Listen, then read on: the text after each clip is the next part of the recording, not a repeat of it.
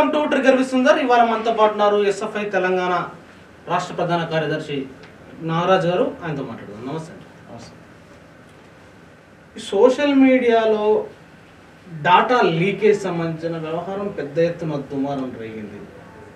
So ఈ social media అంశంలో ఎన్నికలు వస్తున్నాయి విద్యార్థులు కొత్త ఓటర్లకు సంబంధించిన అనేక చర్చలు కూడా నడుస్తున్నాయి. ఈ డాటా లీకేజ్ సంబంధించిన అంశం ఏం నడుస్తుంది సార్? ఒకటండి గత కొంతకాలం క్రితం బ్యాంక్ అకౌంట్స్. అట్లనే ఆధార్ కార్డు ఉన్నటువంటి వాళ్ళ మొబైల్ నెంబర్లు ఒక అమెరికన్ కంపెనీకి లీక్ అయినట్టుగా మనం వార్తలు చూసాం. కొన్ని చర్చ కూడా అయ్యాయి ఈ లీక్ అయిన అంశాలు అంత ఆ సందర్భంలో ఎవరు దాన్ని అంత పెద్దగా పట్టించుకోలేదు. ఎందుకు అన్నప్పుడు సరే ఇది మాకేది కాదు కదా మా మాకేమీ ఈ సంబంధం లేదన్నట్టుగా వ్యవహరించారు కానీ కొన్ని అనుమానాలు కలుగుతున్నాయి ఏమిటనంటే ఏమనుమానాలు అనుమానాలు కలుగుతున్నది ఏమిటనంటే ఒక బీజేపీ రెండు వేల ఇరవై నాలుగు సార్వత్రిక ఎన్నికల కంటే ముందు. ఒక వెబ్సైట్ని ప్రారంభించింది. ఆ వెబ్సైట్ ఏమిటి అని అంటే. నా ఓటు. మొదటి ఓటు. నేను నా ప్రధానమంత్రికి వేయాలి పద్దెనిమిది ఏళ్ళ నుండి వాళ్ళ వాళ్ళ ఫస్ట్ ఓటు. నా first vote. My. First vote for the Modi. అనే ఒక వెబ్సైట్ని ప్రారంభించింది దానికి లీకేజ్ లింక్ అయింది అనుమానం అదే వస్తుంది. ఎందుకు అన్నప్పుడు. ఈ ప్రారంభించిన తర్వాత మొత్తం మెసేజ్లు వస్తున్నాయి. వాట్సాప్లో ఆ ఎవరైతే చాలా మందికి ప్రధానమంత్రి సందేశంతో ఒక అరవై సెకండ్ల నివిడి కలిగిన వీడియో వస్తుంది మ్మ్. ఈ ప్రభుత్వం చేసినటువంటి అంశాలు ఏమున్నాయో అభివృద్ధి పథకాలు అనే పేరుతో బ్రోచర్లు వస్తున్నాయి మ్మ్. ఫోన్ కాల్స్ వస్తున్నాయి మ్మ్. మరి ఇది ఎట్లా బీజేపీకి సంబంధించిన దగ్గరకు పోయింది. అట్లనే అంటే లీకేజ్ నుంచి అంటున్నారా మీరు అంతే అండి బీజేపీ కూడా. నా మొదటి ఓటు మోడీకి వేయాలని వెబ్సైట్ ప్రారంభించి. కొన్ని లక్షల మందికి తమ మెసేజ్లు తమ కంటెంట్. ఇది పంపించడంలో వాళ్ళు సఫలం అవుతున్నట్టుగా అనిపిస్తుంది అనుమానాలు కంపల్సరీ ఉంటాయి మ్మ్. ఎందుకంటే ఈ దేశంలో బ్యాంక్ అకౌంట్లు డాటా లీక్ అయింది. ఆధార్ కార్డుల డాటా లీక్ అయింది. అట్లనే కోవిడ్ సమయంలో వ్యాక్సిన్ కోసం తీసుకున్నటువంటి ప్రతి వ్యక్తికి వ్యాక్సిన్ వేశారు. వ్యాక్సిన్ కోసం తీసుకున్నటువంటి మొత్తం డాటా అది కూడా లీక్ అయిందనే వార్తలు వస్తున్నాయి. మ్మ్. మరి ఇదంతా ప్రభుత్వం ఇంత గోప్యతగా వ్యక్తిగత సమాచారం. ఆధార్ కార్డు నెంబర్లో ఈరోజు ఆధార్ అనే దాంతోనే బ్యాంక్ అకౌంట్ లింక్ అయి ఉంటాయి ఆధార్ అనే నెంబర్తోనే పాన్ కార్డు లింక్ అయి ఉంటాయి పాస్పోర్ట్ లింక్ అయి ఉంటాయి. చాలా చాలా అంశాలకు దాన్ని అనుసంధానం చేశారు. మ్మ్. దాన్ని అత్యంత గోప్యతగా ఉంచాల్సినటువంటి దీనిని వాళ్ళు గోప్యతగా ఉంచే ప్రయత్నం చేయట్లేదు. మీ అందరికి మీకు తెలిసే ఉంటుంది. రెండు వేల పంతొమ్మిదిలో వ్యక్తిగత గోప్యతకి సంబంధించిన భద్రత కల్పించడం కోసం పార్లమెంట్లో వ్యక్తిగత గోప్యత పరిరక్షణ బిల్ అని ఒక బిల్లు కూడా పెట్టారు. బిఎన్. శ్రీకృష్ణ అనే అతనితో కూడా ఇందులో కొన్ని అంశాలు పార్లమెంట్లో లేవనెత్తినప్పుడు. ఆ అంశాల మీద ఒక కమిషన్ బిఎన్ శ్రీకృష్ణ తెలంగాణ రాష్ట్ర విభజన కోసం పనిచేసిన శ్రీకృష్ణ కమిటీ. అదే ఆయన కమిషన్ కమిటీ చేశారు దానికి ఆయన చైర్మన్గా ఉన్నాడు మ్మ్. ఏ అంశాల్లో వ్యక్తిగత గోప్యత సమాచారం ఎట్లా లీక్ అవుతుంది డాటా అనే అనేక అంశాల్లో కూడా కమిటీ ఇప్పుడు పనిచేస్తాం మ్మ్. అంటే మేమేమంటున్నాం అని అంటే ఈ ప్రభుత్వం రెండు వేల ఇరవై నాలుగు సంబంధించిన ఎన్నికలను దృష్టిలో పెట్టుకొని మ్మ్. మొత్తం హ్యాక్ హ్యాకింగ్ గురైంది డాటా మొత్తం దీని మీద ఏం చర్యలు తీసుకుందో చెప్పలేదు అప్పుడు మ్మ్. కానీ ఇప్పుడు బీజేపీ చాలా కాన్సెంట్గా మ్మ్. మా మొదటి ఓటు మోడీకి వేస్తాం లేదంటే మా ప్రైమ్ మినిస్టర్కే మా ఓటు వేస్తాం Hmm. లేదంటే మై ఓటు మై ప్రివిలేజ్ అనే పేరుతో ఇంకా రకరకాల ముద్దు పేర్లు పెట్టి Hmm. ఈ రోజు మొత్తం కూడా మెసేజ్లు పెట్టడం లేదంటే ఓటేయండి అని చెప్పడం అని అంటే దీని వెనక బీజేపీ ఖచ్చితంగా దీన్ని ఉపయోగించుకుందనే అనుమానాలు చాలా స్పష్టంగా కనిపిస్తుంది అనేది మాకున్నటువంటి అభిప్రాయం అంటే లీకేజ్ చేసిన సమాచారం ఉపయోగించిందనా లీకేజే చేసిందనా ఇప్పుడు లీకేజీ చేసిన సమాచారాన్ని ఉపయోగించారా లేకపోతే లీకేజ్ చేశారా అనేది చాలా స్పష్టంగా మనం చెప్పలేం కానీ. ఈ డాటా మొత్తం కూడా వాళ్ళ దగ్గరే ఉంది అనేది అయితే ఖచ్చితంగా స్పష్టంగా చెప్పగలం ఎందుకు అని అంటే. ఈ వ్యవస్థలన్నీ ఎవరి కోసం పనిచేస్తున్నాయి అంటే బీజేపీ కోసమే పనిచేస్తున్నాయి మీ అందరికీ తెలుసు. నిన్న కాక మొన్న ఎన్నికల బాండ్ల వివరాలు సుప్రీంకోర్టే ఒక మూడు నాలుగు సార్లు మీరు ఇస్తారా లేకపోతే మీ మీద దేశద్రోహం కోర్టు ధిక్కరణ కేసు పెట్టాలని అంటే తప్ప. ఈ ఎస్బీఐ చైర్మన్ ఇవ్వలేదు ఒక క్లిక్తో ఇచ్చేది. ఇన్ని నెలల సమయం కావాలి డాటా మొత్తం ఇవ్వాలంటే అని చెప్పిన వ్యక్తి ఎవరెవరు ఇచ్చారో పేజీ నెంబర్లు పేరు లేకుండా ఇచ్చారు అంటే ఎందుకు మేము చెప్తున్నానంటే వ్యవస్థల్ని కంట్రోల్ చేసే స్థితిలో ఈరోజు బీజేపీ ఈ దేశం ఉన్న తర్వాత. ఈ బీజేపీ దగ్గరికి డాటా రాదని మనం ఎలా అనుకోవాలి. లేదా లీక్ హ్యాక్ చేసినటువంటి డాటా మొత్తం బీజేపీ ఆఫీసులో ఉండదని ఎలా అనుకోవాలి. కాబట్టి నేను చాలా స్పష్టంగా చెప్పగలుచుకుంది ఏమిటంటే ఈ రోజు బీజేపీ ఐటీ మ్మ్. చాలా అబద్ధాలతో కూడినటువంటి ప్రచారం చేస్తా ఉన్నారు ఎట్లా చెప్తారు మీరు ఒక పార్టీ సెల్ని ఒక పార్టీ ఐటీ సెల్ని ఒక అధికార పార్టీ ఐటీ సెల్ని అబద్ధాలు ప్రచారం చేస్తున్న ఐటీ సెల్ అని ఎట్లా చెప్తారు మీరు? మీకు తెలియదు కాదు కదండి రెండు వేల ఇరవైలో. బీజేపీ ఐటీ సెల్కి హెడ్గా ఉన్నటువంటి అమిత్ మాలవీయ అనే ఒక వ్యక్తి ఒక రాజకీయ నాయకుడు ఎవ- ఎవరైతే ఉన్నారో మాలవ్య. ఆ మాలవీయ సంబంధించిన అకౌంట్ని ట్విట్టర్ బ్లాక్ చేసింది. ఎందుకు చేసింది? ఈ దేశంలోనే అసలు ట్విట్టర్ చరిత్రలోనే ఒక రాజకీయ నాయకుడి అకౌంట్ని ట్విట్టరే నియంత్రించి బ్లాక్ చేయడం అనేది మొట్టమొదటిసారి ఎందుకు చేసింది.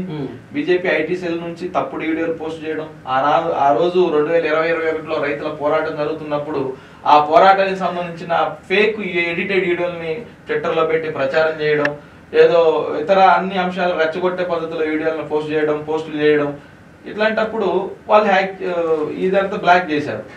ఆ ఐటీ సెల్కి సంబంధించిన వాళ్ళే ఈ ఈ పనిని చేస్తున్నారు బీజేపీ కోసం ఏది మా ఓటు అయింది బీజేపీకి అనే పద్ధతిలో కానివ్వండి లేదంటే మా మతానికి సంబంధించిన పరిరక్షణ అనే పద్ధతిలో కానివ్వండి లేదంటే రామ మందిరం కట్టింది కాబట్టి ఐదేళ్ళ కళలు నెరవేర్చిన మోడీ ఉన్నాడు కాబట్టి అనే పద్ధతిలో ఓటేయండి అని ఈ మొత్తం దాన్ని బీజేపీ ఐటీ సెల్ నుంచే కదా కిందికి పంపించేది వాళ్ళే కదా వాళ్ళ. ఐటీ సెల్ వాళ్ళ ప్రచారం చేస్తుంది కదా వాళ్ళ ప్రచారం చేస్తుందండి కానీ ఎన్నికల కోసం. దేశానికి సంబంధించినటువంటి తప్పుడు మార్గాలు తప్పుడు సమాచారాన్ని మ్మ్. రెచ్చగొట్టే పద్ధతిలో తీసుకొని చేయడం అనేది తప్పు కదా దీన్ని ఎవరైనా ఖండించాల్సిందే కదా. ఎన్నికల నియమ నియ- నియమ నిబంధనలలో లేదా. ఒక ఘర్షణ సృష్టించొద్దు లేదంటే ఒక వర్గం మీదనో ఒక మతం మీదనో కులం మీదనో ఒక విద్వేషాన్ని రెచ్చగొట్టే ప్రసంగాలు ఉండొద్దని కొన్ని నిబంధనలు పెట్టినప్పుడు మరి సోషల్ మీడియాని ఎందుకు వీళ్ళు ఇది చేస్తున్నారు అని ఘర్షణ సృష్టించేటట్టు వాళ్ళకి ఏం చేస్తున్నారు వాళ్ళ టీం లేంది వాళ్ళ పని ఏంది? అవన్నీ మీకేం తెలుసు? ఎట్లా ఆరోపిస్తారు? ఒకటండి ఘర్షణ సృష్టించే పని ఎట్లా చేస్తారు ఏంటనేది. ఈ ప్రజలందరూ చూస్తున్నారు. సోషల్ మీడియాలో ఏం జరుగుతుందో చూస్తున్నాం. చైనాలో దేశానికి చైనా భూములు ఆక్రమించుకుందనే పద్ధతిలో ఒక వివాదాన్ని సృష్టిస్తారు Hmm. లేదంటే ఈడీ ఎవరి మీద దాడి చేయాలో వాళ్ళే నిర్ణయించుకొని ఆ ఈడీ దాడి చేస్తుందనే పద్ధతిలో ఎన్నికల చుట్టూ తిప్పాలనే కొనాన్ని వాళ్ళే క్రియేట్ చేస్తారు Hmm. లేదంటే పలానా దగ్గర ఒక ఆయన ఒక సెలబ్రిటీ తప్పు మాట్లాడినానంటే ఆయన్ని ట్రోల్ చేసే ప్రయత్నం వాళ్ళే చేస్తారు నిజంగా వాళ్ళు ట్రోల్ చేయట్లేదా Hmm. ట్రోల్ ఎవరి మీద చేసి వాళ్ళ పార్టీకి ఉపయోగించుకోవట్లేదా Hmm. వాళ్ళు సోషల్ మీడియాలో ఐదు లక్షల వాట్సాప్ గ్రూపుల్ని మెయింటైన్ చేస్తున్నారు. ఐదు లక్షల WhatsApp ఐదు లక్షల వాట్సాప్ గ్రూపుల్ని. ఐదు లక్షల వాట్సాప్ గ్రూపుల్ని మెయింటైన్ చేయడానికి క్రియేట్ చేయడానికి ఐదు లక్షల గ్రూపుల్లోకి దీన్ని పంపడానికి కొన్ని వేల కోట్ల రూపాయలను నిధులను ఉపయోగిస్తున్నారు. ఏ పార్టీ ఉపయోగిస్తుంది ఏంటి అన్నప్పుడు సరే వాళ్ళ వ్యక్తిగత సంస్థాగత వాళ్ళ వాళ్ళ ప్రచారం చేసుకోవడానికి ఉపయోగించుకుంటారు. కానీ ఈ మొత్తం ఐదు లక్షల వాట్సాప్ గ్రూపుల్లోకి వీళ్ళు చొరబడి చేయడానికి. వీళ్ళు వీళ్ళు ఉపయోగి ఐటీని ఉపయోగించుకోవట్లేదా తప్పుడు పద్ధతులు ఉపయోగించుకోవట్లేదా మేము అంటే ఉపయోగించుకుంటున్నారు వాళ్ళు Hmm. వాళ్ళ సమాచారాన్ని ఐదు లక్షల వాట్సాప్ గ్రూపుల్ని మేము పెట్టి చేస్తున్నాం అని చెప్పేసి ప్రజలు మీరు రాండి రాండి అని వెనకాలని చెప్తున్నారా వాళ్ళకి. చెప్పట్లేదు కదా. కాబట్టి ఈ రోజు వాళ్ళ సంస్థ నిర్మాణం ఐటీ సెల్ అనే పేరుతో అబద్ధాలని తప్పుడు వార్తల్ని విద్వేషాలని కింద వరకు రెచ్చగొట్టే ప్రయత్నం రెచ్చగొట్టి ప్రజలందరినీ ఇచ్చేసే ప్రయత్నం చేస్తున్నారు ఎన్నికల కోసం వాళ్ళకి ఏది అవసరమో దాన్ని ఉపయోగించే ప్రయత్నం చేస్తున్నారు. వెరీ రీసెంట్గా Hmm. రాహుల్ గాంధీకి మోడీకి మధ్య వ్యత్యాసం అనే పేరుతో వర్సెస్ అనే పేరుతో ఒక వీడియో పోస్ట్ చేసి వైరల్ చేస్తున్నారు. Hmm. ఇది దాన్ని వాడు వైరల్ చేయడంలో కూడా సక్సెస్ అయ్యారు. కాబట్టి రాహుల్ గాంధీ పప్ప ఏదైనా కావచ్చు అండి. ఇప్పుడు రాజకీయ విమర్శలు చేయడం వేరు. ఎన్నికల కోసం రాజకీయాల కోసం ఓట్ల కోసం ఒక పార్టీ సిద్ధాంతాన్ని ఒక పార్టీ నాయకుని విమర్శించడం వేరు. చేయొచ్చు అది ఎవరికైనా రైట్ ఉంది. కానీ అది కూడా ఎట్లా ఉండాలి అని అంటే ఒక తప్పుడు సమాచారం తీసుకొచ్చి పెట్టి చేయడం అనేది తప్పు. కాబట్టి మేమేదో కాంగ్రెస్ అనుకూలంగా మాట్లాడుతున్నాం కాదు కానీ. ఈ సోషల్ మీడియా అనే దాన్ని ఉపయోగించుకోవడం కోసం ఈ రోజు వాళ్ళు అనేక తప్పుడు మార్గాలను ఎంచుకుంటున్నారు అనేది మేము ఆరోపిస్తున్నటువంటి అంశం. చెప్తున్నట్టు ఆ ఆరోపణ చెప్తున్న వాస్తవం కూడా అది. ఎట్లా వాస్తవం అంటారు? ఏం లెక్కలు ఉన్నాయి మీ దగ్గర? లెక్కలు అని అంటే. వాళ్ళకు ఒక వెయ్యి కోట్లు కేటాయించుకొని ఈరోజు. మీమ్స్ తయారు చేసుకుంటున్నారు. లేదంటే షార్ట్ వీడియోలో కంటెంట్ తయారు చేసుకుంటున్నారు. అలాగే వాళ్ళు అంటే షార్ట్స్ వెయ్యి కోట్లు ఖర్చు వెయ్యి కోట్లు ఖర్చు పెడుతున్నారు ఎన్నికలకు అవును. ఒక ఇరవై వేల మంది ఒక రాష్ట్రానికి. ఒక ఇరవై వేల మంది సోషల్ మీడియా సంబంధించిన వాళ్ళ టీములు పెట్టుకుంటున్నారు ఒక రాష్ట్రానికి. ఒక రాష్ట్రానికి. ఐదు వేల మందిని ప్రతి అసెంబ్లీలో. ఐదు వేల మంది కార్యకర్తలు కేటాయించుకుంటున్నారు. మరి ఇదంతా ఎక్కడి నుంచి డబ్బులు బీజేపీకి ఇన్ని లక్ష ఇన్ని వేల కోట్లు ఖర్చు పెట్టడానికి ఎక్కడి నుంచి వస్తున్నాయి. రెండోది కోవిడ్ తర్వాత సోషల్ మీడియాలో అనేక మంది సెలబ్రిటీలు అయ్యారు. సెలబ్రిటీలు కావడమే కాదు ఇంకా అనేక మంది కొత్తగా ఇందులో చేరారు. ఒక లెక్కల ప్రకారం ఏంటంటే ఏడు వందల మిలియన్లు భారతదేశంలో సోషల్ మీడియా వాడుతున్న వాళ్ళు ఉన్నారు అనేది ఒక అంచనా లెక్క. ఇందులో సుమారు ఒక ఫేస్బుక్లోనే మూడు వందల అరవై ఆరు మిలియన్ల మంది ఫేస్బుక్లోనే ఉన్నారు. యూత్ అంతా యూట్యూబ్ పద్దెనిమిది నుంచి నలభై సంవత్సరాల వాళ్ళంతా యూట్యూబ్ ఇన్స్టాగ్రామ్లో ఉన్నారు. వీళ్ళని దృష్టిలో వీళ్ళని తీసుకొని లోకి పోవడం కోసం వీళ్ళు ఏదైతే వాడుతున్నారు అనే అనేక అంశాలను తీసుకొని వాళ్ళు ఇన్ని వందల వేల కోట్ల రూపాయలు ఖర్చు పెడుతున్నారు ఉమ్. రెండు మేము ఇంకోటి కూడా చెప్పేది ఏమిటంటే ఇన్ని వేల మందిలోకి లేదంటే ఇన్ని వేల కోట్ల రూపాయలు ఖర్చు పెట్టి ఇన్ని లక్షల మందిలోకి తీసుకుపోతారు అనుకుంటున్న బీజేపీ ఈ డెమోక్రటిక్ కంట్రీలో డెమోక్రసీని ఎవరికైనా ప్రచారం చేసుకోవచ్చు కానీ ఈ మొత్తం ఇప్పుడు నాకు ఒక మెసేజ్ వచ్చిందండి. మోడీ గారి నుంచి నాకు ఒక మెసేజ్ వచ్చింది నా నెంబర్ మోడీ దగ్గర వాళ్ళ గ్రూప్లోకి ఎట్లా పోయింది అనేది కదా సమస్య. కాబట్టి ఈరోజు ఈ డేటాకి సంబంధించినటువంటి కీలకమైన మొత్తం వ్యక్తిగత గోప్యతగా ఉంచాల్సినటువంటి ఫోన్ నెంబరో లేదంటే నా కాంటాక్ట్ ఇతరత్ర మొత్తం కూడా ఈరోజు బీజేపీ ఐటీ సెల్లో ఉంది. దానికోసం ఈ వ్యవస్థ మొత్తాన్ని వాళ్ళు వాడుకుంటున్నారు అనేది నేను చెప్పాలనుకుంటున్నటువంటి అంశం. అంటే ఇప్పుడు ఇట్లా వ్యక్తిగత డాటాను వాడుకొని ఒక కేంద్ర ప్రభుత్వమే ఇట్లా వాళ్ళ ప్రయోజనాల కోసం వాడుకోవడాన్ని ఎట్లా చూడాలి? అసలు దీన్ని నియంత్రించాలంటే ఏం చేయాలి? ఒకటి బీజేపీ వాడుకోవడం వాళ్ళ వ్యక్తిగత ప్రయోజనాల కోసం ఈ డాటాని వాడుకోవడం వ్యక్తిగత గోప్యతను కూడా హరించే పద్ధతిలో చేయడం అని అంటే అతి పెద్ద నేరం. ఖచ్చితంగా బీజేపీకి సంబంధించినటువంటి ఐటీ సెల్లు ఇందులో సక్సెస్ అవుతున్నారు. ఎందుకనంటే వాళ్ళు గ్రామాలలో ఏం చర్చ చేయాలో చర్చ చేయాలనుకుంటున్నారు చర్చ చేయడం కోసం చూస్తున్నారు. అట్లనే ప్రజల్లో ఏం చర్చ చేయాలనుకుంటున్నారో ఆ వార్తను చర్చించడం కోసం వాళ్ళ చుట్టూ తిప్పుకునే ప్రయత్నం చేస్తారు అంటే ముందే ఒక ఎజెండాని ప్రజల్లో పెట్టి చర్చ చేయాలనే ఒక ప్రయత్నం బీజేపీ ఐటీసీలు చేస్తున్నప్పుడు బీజేపీ దీని మీద కూడా స్పందించాల్సిన అవసరం ఉందనేది నాకున్నటువంటి అభిప్రాయం. ఎట్లా స్పందించాలి అన్న అంటే ప్రజల యొక్క దీన్ని ఒక రకంగా దొంగతనం చేయడం. వాళ్ళు దొంగతనం చేసి ప్రచారం చేసుకుంటున్నారు ఫేక్ ప్రచారాలు చేస్తా ఉన్నారు. ఇది అత్యంత అత్యంత నేరమైన పని ఒక రకంగా దేశానికి సంబంధించిన అత్యంత దేశ భద్రత సంబంధించినటువంటి అంశం కూడా. ఎందుకు వీళ్ళు రేపు బ్లాక్ మెయిల్ చేయరండి. ఫలానా మీరు ఇట్లా ఓట్ వేయకపోతే ఇప్పుడు ఆల్రెడీ వాళ్ళు ఒక వార్త ఏంటంటే గుజరాత్లో ఈ ప్రయత్నం చేస్తున్నారు. ఎట్లా చేస్తున్నారు అంటే గుజరాత్లో. వార్డు మెంబర్ దగ్గర నుంచి మంత్రి ఎమ్మెల్యే దాకా పనిచేసిన వాళ్ళు ఏ పార్టీలోనే పని చేయనివ్వండి. వాళ్ళకి సంబంధించిన మొత్తం డాటా ఫైల్ చేసి పెట్టారని ఉమ్. ఫైల్ చేసి పెట్టి నువ్వు మా పార్టీలో చేరతావా? లేకపోతే ఇది నిన్ను కేసు జైలు పెట్టాలా. అంటే ఇది ఇట్లా ఈ రోజు రాజకీయాల్లో కూడా ఇతర పార్టీల నుంచి చేర్పించుకునే పద్ధతి. ఇప్పుడు ఈడీ చేస్తున్న పని అదే. నీ మీద కేసులు ఉన్నాయి కదా. నువ్వు ఈడీ నువ్వు రాకపోతే మా పార్టీలో చేరకపోతే ఫలానా నీ కేసులో జైలుకు పోతావా? ఇప్పుడు అట్లా ఈ రోజు మొత్తం ప్రజల్ని బెదిరించేటటువంటి ప్రజల్ని బ్లాక్ మెయిల్ చేసేటటువంటి పని ప్రజల సమాచారాన్ని ఒక రకంగా బీజేపీ దొంగతనం చేసే పని చేస్తుంది ఈ- దేశంలో. అంటే ఒక దొంగగా మారిన దొంగ పార్టీ బీజేపీ అని నేను ఆరోపిస్తున్నా. అంటే ఈ దొంగగా ఉన్నటువంటి ఇల్లు. మాకు ఓటేయండి మేము ఈ దేశానికి సంబంధించిన నిజమైన దేశభక్తులు మేమే నిజమైనటువంటి దేశాన్ని కాపాడే వాళ్ళని చెప్పుకుంటున్న ఇల్లు. ఈ దొంగతనం చేయడం ఆపాలి దీని మీద ప్రభుత్వం ఎలక్షన్ కమిషన్ ఏదైతే ఉన్నాయో ఆ చర్యలు తీసుకోవాలని కూడా నేను కోరుతాను ఇక్కడ మీరు విద్యార్థి రంగంలో నాయకులు ఫస్ట్ ఓటు విద్యార్థి దశ నుంచి ముగించుకొని లేకపోతే విద్యార్థి దశలో ఉన్న వాళ్ళకి ఫస్ట్ ఓటు అప్పీలింగ్ బీజేపీ చేసింది. ఇలాంటి సందర్భంలో ఈ రాష్ట్రంలో ఉన్న విద్యార్థులకు కానీ దేశంలో ఉన్న విద్యార్థులకు కానీ ముఖ్యంగా యువతకు కానీ ఎందుకు బీజేపీ ఓటేది కేవలం దొంగ డాటా చేసినందుకే చేయకూడదా? డోట్ డాటాను దొంగిలించినందుకేనా? లేకపోతే తప్పుడు ఫేక్ ప్రచారాలు చేసినందుకేనా? ఈ- ఏం చెప్తావు ఈ యువతకి? ఒకటండి మేము ఏమని చెప్తున్నా అంటే మీ మొదటి ఓటు మోడీకి వేయొద్దు అని చెప్తున్నాం ఎందుకు? వేయొద్దు అని అంటే. ఏం ఈ దేశంలో బీజేపీకి నిజంగా దమ్ము ధైర్యం మోడీకి ఉంటే. వాళ్ళు చేసిన అభివృద్ధి ఏంటో చెప్పి ఓటు అడగమని చెప్తున్నాం. మేము ఇన్ని సంవత్సరాల్లో ఇన్ని యూనివర్సిటీలు కట్టించినాం. మేము ఈ పదేళ్ళ కాలంలో ఇన్ని కోట్ల ఉద్యోగాలు ఇచ్చినాం. ఈ పదేళ్ళ కాలంలో విద్యారంగంలో ఈ సంస్కరణ తీసుకొచ్చినాం ఈ పదేళ్ళ కాలంలో మేము ప్రైవేటు కార్పొరేట్ వ్యక్తుల్ని ఎవరిని విద్యారంగంలోకి మేము ఆహ్వానించకుండా ప్రభుత్వమే ఇన్ని చేసింది. ఇన్ని లక్షల టీచర్ పోస్టులు ఇచ్చినాం. విద్యారంగానికి ఇన్ని లక్షల కోట్ల రూపాయల నిధులు కేటాయించినాం. ఇంత అభివృద్ధి చేసినాం చెప్పి అడగమనండి.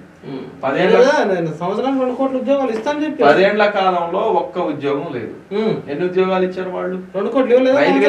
ఇవ్వలేదండి. రైల్వేని ప్రైవేటీకరణ చేశారు. బిఎస్ఎన్ఎల్ ఉన్న దాంట్లో బిఎస్ఎన్ఎల్ మొత్తాన్ని జియో కమ్మేసి బిఎస్ఎన్ఎల్ ఉన్న ఉద్యోగస్తులందరినీ విఆర్ఎస్ తీసుకొని పోయే ప్యాకేజీలు పెట్టారు. అంటే ప్రభుత్వ రంగ సంస్థల్లో ఉద్యోగాలు ఎక్కడ ఇచ్చే పరిస్థితి లేదు ఇప్పుడు రైల్వేలో ఎన్ని వేల బ్యాక్లాగ్ పోస్టులు ఖాళీ ఉన్నాయి ఒక్క పోస్ట్ అయినా భర్తీ చేశారా వాళ్ళు. లేదా టెలికాం రంగంలో ఉన్న బ్యాక్లాగ్ పోస్టులు కానీ కొత్తగా క్రియేట్ చేయబడాల్సినటువంటి పోస్టులు కానీ ఒక్కటైనా భర్తీ చేశారా వాళ్ళు. సైన్యంలో ఉన్న ఉద్యోగాలను కూడా ఈరోజు కాంట్రాక్ట్ పద్ధతులు తీసుకొచ్చారు ఒక సొంత ఈ దేశానికి మీకు మీకు తెలుసో లేదు ఈ భారతదేశానికి సొంత విమాన సంస్థ ప్రభుత్వ విమాన సంస్థ లేదు. ఉగాండాకు ఉంది శ్రీలంకకు ఉంది మన పక్కనే ఉన్నటువంటి ఇతర చిన్న చిన్న దేశాలకు ఉన్నాయి తప్ప. భారతదేశానికి ఉన్నటువంటి ప్రభుత్వ విమానయాన సంస్థని పద్దెనిమిది వేల కోట్ల రూపాయలకి టాటా వాళ్ళకి ఎయిర్- ఇండియా అమ్మారు ఎయిర్ ఇండియా టాటా వాళ్ళకి అమ్మేశారు ఇప్పుడు భారతదేశానికి చెప్పానండి మంత్రి ఉన్నాడండి ఉట్టి దీనికి మంత్రి ఉన్నాడు ఆ. విమానయాన శాఖ మంత్రి ఉన్నాడు కానీ. ఒక ప్రభుత్వ రంగంలో భారతదేశ రంగ విమాన సంస్థ చెప్పానండి. ఏమి లేదు. అంటే నువ్వేమో ప్రైవేట్ పాలన చేస్తావు. ఉద్యోగాలు ఇవ్వవు.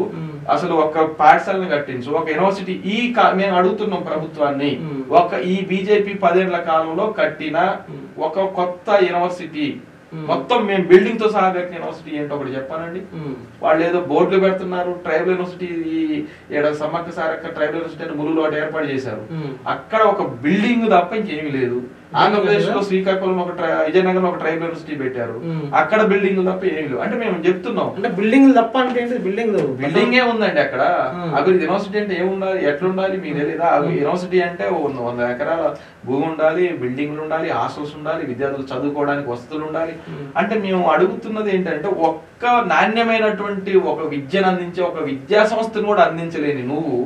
ఏమని అడుగుతూ నా మొదటి ఓటు నాకేమని. గుళ్ళు గోపురాల చుట్టూ బొట్లు పెట్టుకొని పొలు దండాలు పెట్టుకుంటూ తిరిగే మీరు. అభివృద్ధి చేయకుండా. ఏం ఏం అడుగుతారు మీరు ఈ తెలంగాణ రాష్ట్రానికి సంబంధించిన మేము అడుగుతున్నాం విభజన హామీలు ఉన్నాయి విభజన హామీల్లో ఐఐటీలు ఉన్నాయి ఐఐఎంలు ఉన్నాయి. సెంట్రల్ యూనివర్సిటీలు ఉన్నాయి ఏ ఎక్కడ ఏర్పాటు చేశారు? ఒక ఐఐఎం అన్న తెలంగాణ రాష్ట్రం ఏర్పాటు చేసిందా? ఈ బీజేపీ ప్రభుత్వం ఈ పదేళ్ళ కాలంలో. ఒక్క ఐఐటీనైనా కొత్తగా ఏర్పాటు చేసిందా? ఈ పదేళ్ళ కాలంలో ఇక్కడ. ప్రతి నియోజకవర్గానికి ఒక కేంద్రీయ విశ్వ ప్రతి జిల్లాకు ఒక కేంద్రీయ విశ్వవిద్యాలయాలు ఏర్పాటు చేయాలని విభజన చట్టంలో మీరు విభజించేటప్పుడు ఉంది. ఎన్ని కొత్తగా ఏర్పడిన తెలంగాణ జిల్లాల్లో ఎన్ని కేంద్రీయ విద్యాలయాలు ఏర్పాటు చేశారు? ఎన్ని ఏకలవ్య పాఠశాలలు ఏర్పాటు చేశారు మీరు? అంటే ఇక్కడ ఏమీ లేకుండా మాకు ఉద్యోగం ఇవ్వరు. మాకు ఉపాధి కల్పించరు మాకు విద్యను ఇవ్వరు హాస్టల్ పెట్టరు యూనివర్సిటీలు కట్టరు. ఏమీ లేకుండా మా మొదటి ఓటు మీకే వేయండి అని అడుగు అడగడం అంటే మేము ఎట్లా వేయాలి మొదటి ఓటు? అందుకే మా డాటాని ఈరోజు దొంగతనంగా తీసుకొని ఈరోజు మాకు ఈ సోషల్ మీడియాలో ఇన్ఫ్లుయెన్సర్ ఉపయోగించుకొని ఇప్పుడు ఈరోజు ఈ దేశం అత్యధికమైనటువంటి సోషల్ మీడియాలో మైక్రో ఇన్ఫ్లుయెన్సర్స్ అంటారు సోషల్ మీడియా. ఇన్ఫ్లుయెన్సర్స్ అంటారు వాళ్ళందరూ ఎవరి కోసం పనిచేస్తున్నారు Hmm. ఈరోజు ఐటీ సెల్ వాళ్ళు బీజేపీ కోసం ఉపయోగించుకుంటున్నారు Hmm. ఒక ట్రావెలర్ ఉందనుకోండి Hmm. ఈ యూట్యూబ్లో కొన్ని లక్షల సబ్స్క్రైబర్స్ ఉంటే ఆ ట్రావెలర్ ఉపయోగించుకుంటున్నారు Hmm. ఫుడ్ లాగ్స్ ఉంటే ఛానల్ వాటిని ఉపయోగించుకుంటా ఉన్నారు Hmm. మొత్తం ఎవరున్నా సరే వాళ్ళతో బీజేపీకి ఓటేయించండి మోడీ గారికి ఓటేయించండి అని చెప్పించుకునే ప్రయత్నం తప్ప Hmm. ఇంకోటి ఎక్కడ ఏం లేదు. అందుకే ఈరోజు డాటా లీక్ అయిన దాని మీద విచారణ లేదు. డాటా ఎవరికి ఎక్కడికి ఎందుకు హ్యాక్ అయిందో దాని మీద ప్రభుత్వం మాట్లాడదు. అలాగే సోషల్ మీడియా ఇన్ఫ్లుయెన్సర్లు ఎందుకు బీజేపీ కోట ఏమంటారు ఐటీ సెల్కి వెయ్యి కోట్ల రూపాయలతో వాళ్ళ ఐటీ సెల్ అబద్ధాల ప్రచారం ఎట్లా చేస్తారో? అట్లా చేస్తే సోషల్ మీడియా మీద ఎట్లా నియంత్రణ చేయాలో వాళ్ళు మాట్లాడరు. Hmm. మీ అందరికి తెలుసు కదండి దేశంలో జరుగుతున్న అంశాలే. ఉమ్. అసలు ట్విట్టర్ని కూడా వీళ్ళు నియంత్రించే దానికోసం బెదిరింపులు చేశారు కదా. అదే మేము అడుగుతున్నాం ఈ రోజు సోషల్ మీడియాలో రైతుల ఉద్యమానికి మద్దతు తెలిపినటువంటి రిహానా ఆమెని Hmm. మరి ఆ అంబానీ వాళ్ళ ఇంటికి పెళ్ళికి తీసుకొని వచ్చి కొన్ని వందల కోట్ల రూపాయలు ఖర్చు పెడితే మీరేం మాట్లాడలేదు ఎందుకు. అంటే సోషల్ మీడియాని వాళ్ళ అనుకూలమైనటువంటి వార్తలు ప్రచారం చేయడం ఒక రకంగా చేస్తారు. వాళ్ళు వ్యతిరేకమైన వార్తలు వస్తే మాత్రం దాని మీద కౌంటర్ ఇంకో రకమైన చేస్తారు. అందుకే ఈరోజు వాట్సాప్లో వాట్సాప్లో దూరుతున్నారు. ఎంత దిగజారిపోయారని అంటే వాళ్ళ బీజేపీ ఎంపీ టికెట్ ఇచ్చారు ఒక సినీ నటికి. కంగనా ఆమె ఈ దేశం మొదటి ప్రధాని సుభాష్ చంద్రబోస్ అని చెప్పి ప్రచారం. అంటే కనీసం జ్ఞానం లేకుండా అబద్ధాలని అసత్యాలని ప్రచారం చేసి ఎన్నికల్లో లబ్ధి పొందాలనే తప్ప ఇంకోటి ఏమీ లేదు. ఇది మేము చెప్పదలుచుకున్న అంశం. అట్లనే ఈ దేశం మీద మోడీ ప్రభుత్వం మోడీని ఎవరైనా విమర్శిస్తే కూడా ఈ దేశ ఎజెండాగా మార్చే ప్రయత్నం సోషల్ మీడియాలో చేస్తున్నారు లైటీసీలు. మాల్దీవులు ఏదో వాళ్ళ దేశ అధ్యక్షుడు ఏదో విమర్శించండి అని చెప్పి అసలు మాల్దీవులు పోవద్దు లక్షద్వీప్ పోవాలని ఇంకో ఏదో ఓ పెద్ద ఇది చేశారు క్యాంపెయిన్ నడుస్తున్నారు. హ్యాష్ ట్యాగులు పెట్టడం కానివ్వండి దాన్ని ట్రెండ్ చేయడం కానివ్వండి లేదంటే వాళ్ళకి వ్యతిరేకంగా మాట్లాడే సినీ నటులో సెలబ్రిటీలో క్రీడాకారులు ఎవరైనా సరే విపరీతమైన ట్రోల్ చేయడం ట్రోల్ చేసి వాళ్ళని ఈ దేశంలో తలెత్తుకొని చేయకుండా ప్రయత్నం ఈరోజు బీజేపీ ఐటీ అచ్చ అసత్యాలు ప్రచారం చేస్తుంది ఎన్నికల కోసం ఉపయోగించుకునేటటువంటి ఎన్నికల ఎజెండాను వాళ్ళకి వెళ్ళి తీసుకునే ప్రయత్నం ఏం చేస్తారు మీ విద్యార్థులు? బాగా చెప్తున్నారు విద్యార్థి నాయకులు మీ యువజన నాయకులు కూడా చాలా మంది వచ్చి మాట్లాడుతున్నారు ఇంటర్వ్యూలలో. ఏం చేస్తారు బీజేపీ ఇంత చెప్తున్నారు కానీ? మేము ఎందుకు చేయమండి? మేమేంటో ఖచ్చితంగా మేము కూడా సోషల్ మీడియాలో మాకున్న ఇన్ఫ్లుయెన్స్ ఉంది. సోషల్ మీడియాలో మేము చేయగలిగింది ఉంది. అట్లనే. ఈ దేశంలో బీజేపీ ఏం చేస్తుందో చెప్తాం. ఉద్యోగాలు ఎన్ని ఇచ్చిందో చెప్తాం. ప్రజలందరూ బీజేపీ ఎందుకు ఓటేయాలో మేము చెప్తాం. వాళ్ళు అడుగుతున్నారు కదా మీ ఓటు మాకేంటని. మేము ఎందుకు వేయాలో కూడా మేము చెప్తాం. ఎందుకు వేయద్దో కూడా మేము చెప్తాం. ఖచ్చితంగా చెప్తాం. మోడీ గారికి నిజంగా నిజాయితీగా మీకున్న దమ్ముంటే బీజేపీ పార్టీకి దమ్ముంటే మీరు చేసిన అభివృద్ధి ఏంటో మీరు కట్టిన విద్యా సంస్థలు ఏంటో మీరు ఇచ్చిన ఉద్యోగాలు ఏంటో మీరు ఇచ్చిన నిధులు విద్యారంగానికి నిధులు ఏంటో ఉద్యోగ అవకాశాలు ఏం కల్పించారో మీరు అవి చెప్పండి తప్ప. అవి చెప్పకుండా మేము ఇంకోటి ఇంకోటి అనే పద్ధతిలో విద్యార్థుల్లో యువజనంలో మా ఓటు వేయండి అనే పద్ధతులు ఉంటే మాత్రం ఖచ్చితంగా ఇయ్యం. మేము కూడా ఎన్నికల్లో మా మేము చెప్పాల్సింది చెప్తాం మేము చేయాల్సిన క్యాంపెయిన్ కూడా మేము చేస్తాం. Thank you very much Naraj గారు. ప్రజలారా విన్నారు కదా మొదటి ఓటును మోడీకే వేయండి అని చెప్పేసి బీజేపీ ప్రచారం చేస్తుంటే మొదటి ఓటు మోడీకి ఎందుకు వేయొద్దో మేము చెప్తాం అని చెప్పేసి ఎస్ఎఫ్ఐ నాగరాజు టీటన్ వేదికలో కూర్చొని బీజేపీకి సవాలు ఇస్తున్నారు అనేక అంశాలను కూడా ఆయన చర్చలో పెట్టినారు. మరి ఆయన చర్చకు పెట్టిన అంశాల్లో వాస్తవాలు ఉన్నాయా? మీరేమనుకుంటున్నారో కామెంట్ రూపంలో రాయండి. థ్యాంక్ యూ వెరీ మచ్ చూస్తూనే ఉండండి టీటన్